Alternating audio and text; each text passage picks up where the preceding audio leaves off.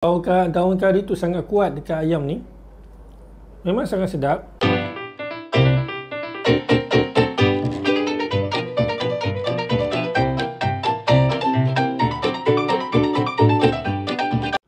Hai, terima kasih kerana mengunjungi channel Bani Review TV. Assalamualaikum, welcome back to my channel. Kepada yang baru singgah ke channel aku, channel aku khusus untuk review produk-produk yang terbaru.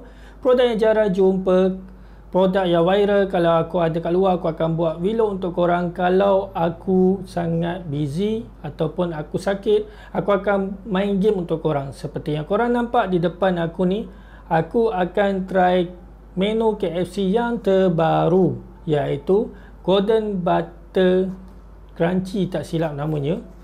Ok Golden Butter Crunch ok so di depan aku ni aku beli set dua ketua ayam satu coleslaw satu mashed potato satu air berharga RM17.99 ok aku pun tak, tak sabar nak rasa. So dalam ni pun dia ada bagi serbuk. Ok so dua ketua ayam. Ada coleslaw dan ada air. Ya aku pun dah tak sabar nak rasa macam mana KFC yang terbaru ni. Hmm Okey.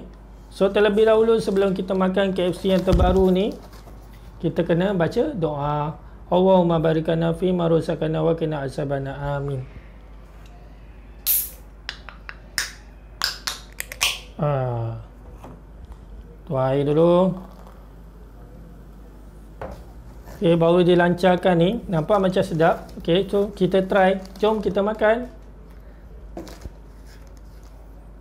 So inilah seredak dia. So tabu kat atas ni.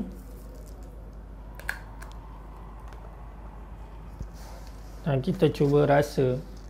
Okay, coleslaw dengan mashed potato letak tepi dulu. Bismillahirrahmanirrahim.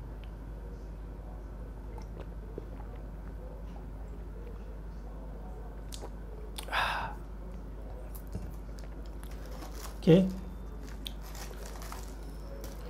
So inilah ayam KFC yang terbaru.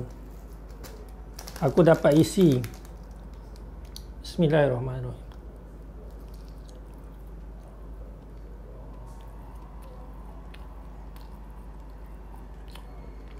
Hmm. Macam pernah aku rasa ayam ni sebelum ni.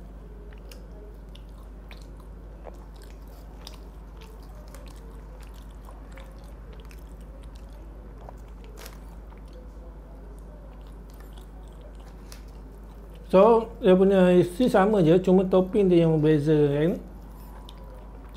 Hmm.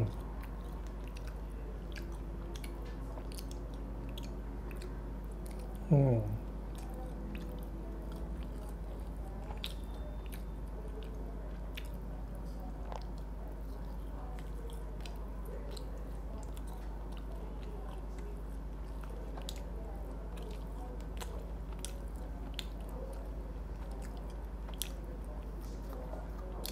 Bau daun kari tu sangat kuat dekat ayam ni. Memang sangat sedap. Ok kalau korang dapat bahagian thigh ataupun bahagian drumstick lagi sedap. Sebab isi dia tak banyak. Yang ni aku dapat rib. So isi dia agak padu kat sini. Dia ada rasa pedas sikit. Tapi tak adalah pedas sangat macam tandoori itu. Hmm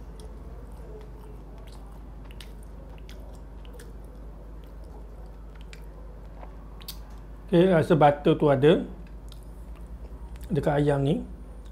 Cereal pun ada juga.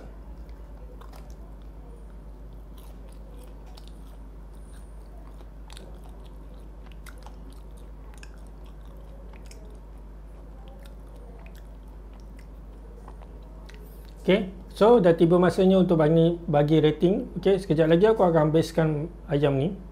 Okay, so Bani bagi sebanyak 7 per 10 saja dia tak boleh lawan dengan tanduri lah itu tapi itu taste masing-masing memang sangat sedap tapi untuk aku tanduri is better ok So aku rasa itu saja untuk review kali ni. Kalau korang ada terjumpa lagi produk baru, produk jarang jumpa, produk yang viral, korang boleh tinggalkan komen di bawah. Jumpa lagi pada video yang akan datang. Assalamualaikum. Mutiara kata pada hari ini, jika kejahatan dibalas kejahatan maka itu adalah dendam. Jika kebaikan dibalas kebaikan itu adalah perkara biasa. Jika kebaikan dibalas kejahatan itu adalah zalim.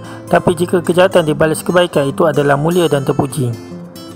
Maksudnya, tidak perlu kita balas jika kita ditimpa musibah. Redha dengan segala ketentuannya. Teruskan kehidupan dan tak perlu simpankan dendam. Jadikan diri kita ini orang yang mulia. Kita balas kejahatan itu dengan kebaikan.